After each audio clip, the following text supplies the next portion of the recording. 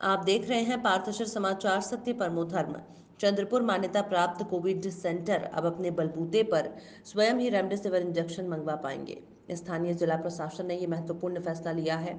इस पर नियंत्रण रखने के लिए सरकारी स्वास्थ्य अधिकारी की नियुक्ति की जाएगी। इस फैसले के लिए महानगर भाजपा की ओर से प्रयास किया गया था।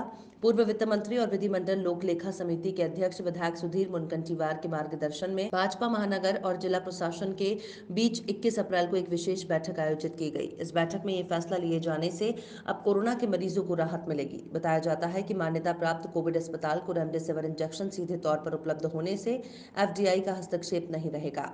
हालाँकि जिला प्रशासन की ओर से इस पर नियंत्रण रहेगा। नियुक्त किए जाने वाले वैद्यकीय अधिकारी तय कर पाएँगे कि कौन से मरीज़ को इंजेक्शन आवश्यक है और किसे नहीं है।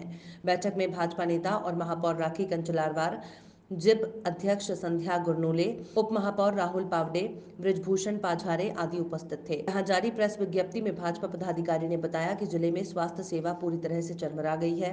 कोरोना से लड़ने के लिए प्रशासन की ओर से आवश्यक तैयारियाँ नहीं की गई हैं। दिन ब दिन मरीजों की संख्या बढ़ रही है। सही समय पर सही इलाज नहीं मिल पाने से कोरोना से मरने वालों की संख्या भी बढ़ रही है।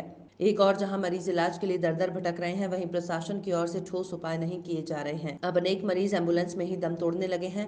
ऑक्सीजन और दवाओं की किल्लत है। इन सभी समस्याओं पर चर्चा करते हुए जिलाधिकारी ने सहकार्य करने का आश्वासन दिया। कोरोनाग्रस्त मरीजों को रेमडेसिविर इंजेक्शन तत्काल उपलब्ध करवाने का आश्वासन देते हुए इस पर नियंत्रण रखने के लिए एक वैद्यकीय अधिकारी की तत्काल नियुक्ति करने की बात कही।